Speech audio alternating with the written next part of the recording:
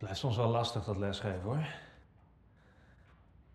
Nou, het was wel een hele leuke les. Ik had ze gevraagd of ze posters wilden maken van het spijsverteringsstelsel. Hè, waarbij ze moesten aangeven hoe het, spijs, hè, hoe eten door de organen loopt bij vertering. Ik had een hele duidelijke instructie gegeven, dus ze moesten allemaal in groepjes samenwerken. Um, iedereen had zijn eigen rol, dus daarvoor ook iedereen verantwoordelijk. Geen kans op meeliften is ook belangrijk natuurlijk. En ze waren echt heel actief bezig met elkaar praten en overleggen. Ja, dat beklijft ook echt heel goed. Ja, en wat ik ook zo mooi vind is dat zo'n visuele opdracht, dat werkt voor sommigen werkt dat gewoon heel erg goed. Mieke bijvoorbeeld. Ja, die geniet daarvan. Nou, en daar geniet ik dan weer van. Ja. Ja, maar Laurens, ik krijg soms echt geen vat op die jongen. En maar roepen hoe makkelijk die het vindt. En die, die opmerkingen van hem, die zijn gewoon hartstikke kwetsend soms voor anderen.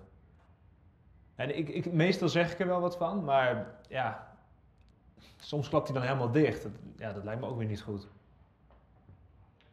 Oh, en ik maakte me toch een blunder op het eind. Ik, ik, ik vraag, hè, kunnen jullie mij vertellen hoe het spijsverteringsstelsel werkt? Nou, geen reacties. Dus ik kijk om me heen, zie Asra voor me zitten. Dus ik denk, nou, die weet het wel. Dus ik, Asra, kun jij het vertellen? Die begint me toch een verhaal af te steken. Er kwam geen einde aan. Nou, en ik wil haar niet onderbreken, want ik zie aan dat ze zenuwachtig is. Ja, ze wil het natuurlijk ook goed doen. Ja, dus op een gegeven moment ben ik maar snel wat namen gaan noemen, zo kriskras door de klas. Nou, dat, en dat werkte dan eigenlijk best wel goed hoor.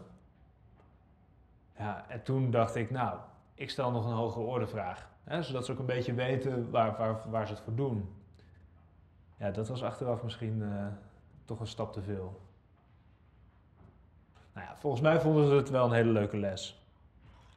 Ik heb het niet meer kunnen vragen omdat de les al voorbij was. Dat, ja, ik ben soms zo druk bezig met uh, om te zorgen dat het goed gaat, dat ik gewoon de tijd helemaal vergeet. Nou, over tijd gesproken. Ik uh, moet naar mijn volgende les. Dankjewel voor uh, luisterend oor zijn.